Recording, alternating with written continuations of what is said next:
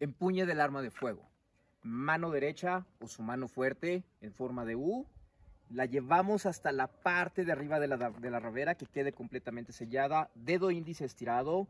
Dedos medio mular y meñique empuñando la pistola. Dedo medio generando contacto con el guardamonte. Dedo pulgar apuntando al frente ligeramente hacia arriba.